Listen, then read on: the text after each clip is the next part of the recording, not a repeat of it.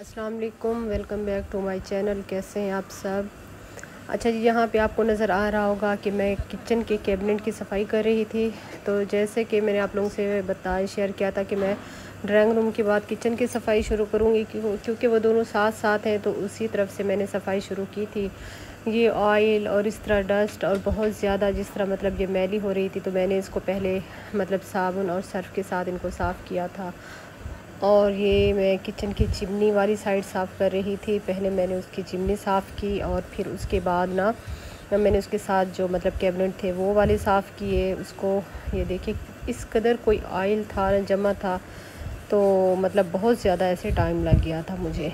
ये मैं सारी सफ़ाई कर रही थी। कुछ मैंने रात में की थी, अफ्तारी के बाद। तो कुछ फिर मैंने सुबह में एक दो अपनी साथ में काम वाली लड़कियों को बुला लिया था तो कुछ मैंने फिर सुबह में कर ली थी।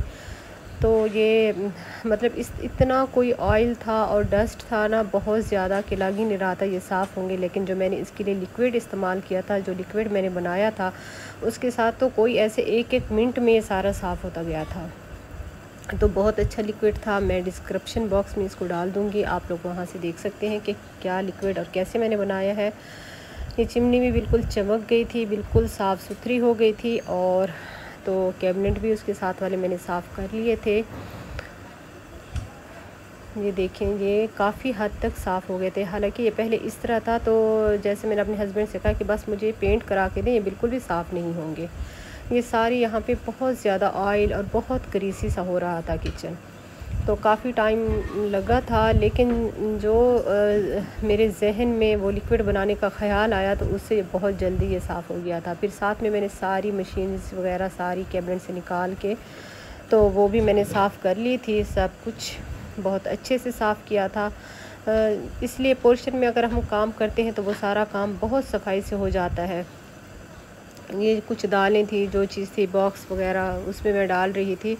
क्योंकि जो चूल्हे के ऊपर जो वाला जो कैबिनेट था, मसाले वाला तो अभी फिर मैं उसको अंदर से साफ़ कर रही थी कि उस, क्योंकि सारे कैबिनेट ही मैंने अंदर से साफ़ किए थे। जो नीचे वाले थे, वो मैंने कुछ दिन पहले कर लिए थे। उसकी वीडियो मैंने आप लोगों के साथ शेयर नहीं की, क्योंकि किचन में मुझे पता था कि बहुत सा टाइम लगने वाला है तो इसलिए मुझे जब भी टाइम मिलता था, मैं नीचे वाले कैबिनेट साफ़ करती जाती थी। तो बाकी ऊपर वाले रह गए थे तो अब मैं ऊपर वाले कर रही थी। ये चूल्हे के ऊपर वाला है, इसमें मसाले वगैरह रखे होते हैं तो इसमें भी, ये भी बहुत ज़्यादा ग्रीसी हो रहा था। तो ये सारे ऑयल और ये सारे मसाले मैंने निकाल लिए थे।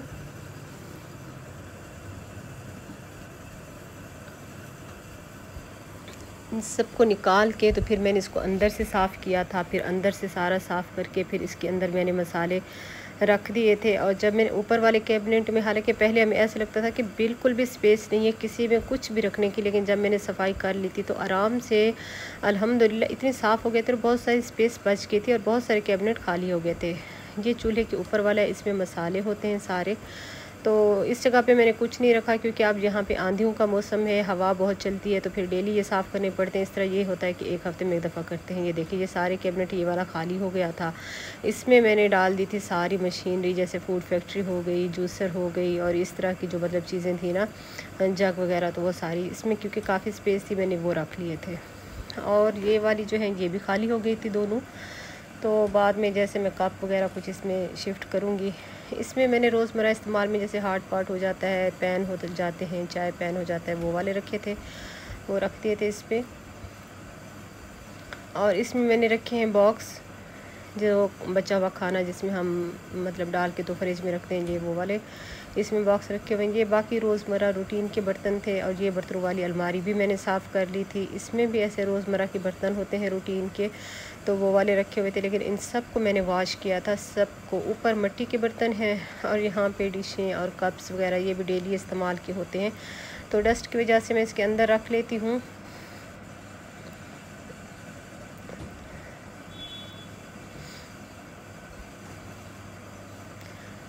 यहाँ पे, ओहो, ये गिर गया था डिश वगैरह, लेकिन मैंने फिर उसको सेट कर लिया था। इसमें मैं रखती हूँ सब्ज़ियाँ, जिस तरह प्याज हो जाते हैं, लहसन हो जाता है, क्योंकि वो ख़राब नहीं होते हैं फ्रिज में तो ये वो मैं इसमें रख लेती हूँ। क्योंकि फ्रिज भी साफ़ करनी थी, फिर मैंने वो भी साफ़ की थी, और इस तरह मैंने किचन साफ़ कर ली थी, बिल्कुल। ये सारी सफ़ाई मैंने रात में कर ली थी। ये रात को ही मैं करके सोई थी, तकरीबन अफ्तारी के बाद से शाह की नमाज़ के बाद मैंने शुरू किया था। तो कोई साढ़े दस बजे मैं फ़्री हो गई थी। तो ये अब फिर मैं अगले दिन सुबह में जो बाकी काम बच गया था, जैसे ये सिलेंडर हो गया था, इसको साफ़ किया था और फ्रिज भी रहती थी। फ्रिज अंदर से तो मैंने साफ़ कर लिए थे, लेकिन उनको मैंने थोड़ा सा किचन वर्क के साथ जो फ्रिजों के लिए जगह बनी हुई थी तो मैंने वहाँ पे इनको शिफ्ट करना था। तो फिर वो भी जगह साफ़ करनी थी, थक गए थे बहुत ज़्यादा। फिर अगले दिन मैंने उसको साफ़ करके तो फ्रिज अंदर से तो मैंने साफ़ कर लिए थे, रात में ही तो बाहर से मैं कर रही थी। तो दोनों फ्रिज साफ़ किए थे, ये बाहर से सारा मैंने इसको पहले सर्फ वाले कपड़े के साथ साफ़ किया और फिर ऊपर से मैं ऐसे गीले कपड़े के साथ वेट कपड़े के साथ मैं इसको साफ़ कर रही थी। तो इस तरह मैंने सफाइयाँ की हैं कि पूरा मुझे लगता है कि अब अगर डेली का डेली थोड़ा सा एक दो मिनट हम देंगे तो मतलब ये फिर चीज़ें गंदी नहीं होती। अब मेरा बस यही इरादा है, जिस तरह बहुत सा टाइम लगा है तो अब मैंने ये सोचा हुआ है कि अब घर की सफाइयों में मैंने बहुत सारा टाइम खुद देना है। जब हम ये सब काम लड़कियों पर छोड़ देते हैं, काम वालियों पर छोड़ते हैं तो फिर बहुत मसला हो जाता है। चीज़ें भी एक तो बहुत जल्दी ख़राब हो जाती हैं, जिस तरह मशीनरी हो जाती है, और दूसरा डस्ट और मिट्टी की वजह से भी वो, बहुत जल्दी पुरानी हो जाती हैं, ख़राब तो हो ही जाती हैं। तो ये पुरानी भी हो जाती है। अब एक चीज़ है, मेरे घर में जो कपड़े धोने वाली मशीन है तो उसमें मैं कपड़े खुद मतलब धोती हूँ। तो मैंने उसको कभी लड़कियों को हाथ नहीं लगाने दिया, बस क्या है, उसमें वो ऑटोमेटिक के कपड़े डालने होते हैं, निकालने होते हैं। लेकिन उसको मैं खुद दो साल से यूज़ कर रही हूँ तो वो बिल्कुल ख़राब नहीं हुई है। बाकी चीज़ें बहुत जल्दी गंदी हो जाती हैं। ये देखें, ये फ्रिज की जगह है, जहाँ पे असल फ्रिज की जगह बनी हुई थी तो उसमें उधर मैंने नहीं रखी हुई थी फ्रिज तो उसको मैंने साफ़ करवा के तो फिर वहाँ पे फ्रिज हम शिफ्ट कर रहे हैं। फ्रिज का सारा सामान निकाल लिया था। तो दोनों फ्रिज का तो वहाँ पे इसको शिफ्ट कर लेंगे फ्रिजों को। तो फिर मैं इसमें सामान भी रख लूँगी। ये भी मतलब सुबह में हम लोग कोई नौ बजे शुरू हुए थे तो कोई बारह एक का टाइम हो गया था फ्रिज साफ़ करते। और ये फ्रिज की जो जगह है, यहाँ पे पहले कुछ और सामान रखा हुआ था। तो यहाँ बहुत कचरा था तो वो साफ़ करते करते मतलब इस जगह को काफ़ी मतलब मैंने साफ़ किया था। ऐसे जैसे छुरी के साथ, चम्मच के साथ ना नीचे इसकी डस्ट बिल्कुल जमी हुई थी। तो इसी वजह से अब मैंने सोचा है कि कोई बात नहीं, घर की सफ़ाई सफ़ाई तो निसफ, ईमान है, अगर हम खुद थोड़ा सा काम करेंगे तो वो बहुत अच्छी बात है। तो मैंने सोचा हुआ है कि अब मैं खुद, मैंने साथ मिल के सफाइयाँ करनी है और कोशिश करनी है कि बहुत सारे काम अपने मैं खुद करूँ। हम लोग आज भी तीन लोग ही थे तो आ, कर रहे थे फ्रिज को फिर सफाइयाँ वगैरह करके तो फ्रिज दोनों वहाँ पे ये देखिए मैंने शिफ्ट कर दिए थे। और उसके बाद लड़कियों को जी लग गई थी भूख काम बार क्योंकि उनका रोज़ा नहीं था तो मैंने उनसे कहा कि आप लोग अपना नाश्ता बना लो। नाश्ता बना के तो खा के तो फिर नेक्स्ट काम शुरू करते हैं तो फ्रिज किचन ये साफ़ हो गए थे हमारे।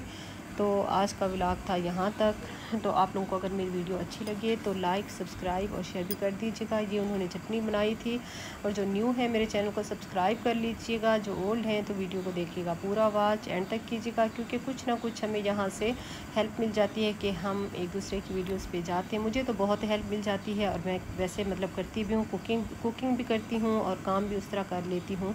अच्छी बात है, हमें किसी ना किसी से कुछ सीखना चाहिए। ठीक है जी। वीडियो को एंड तक वॉच कीजिएगा और मिलते हैं जी नेक्स्ट वीडियो में।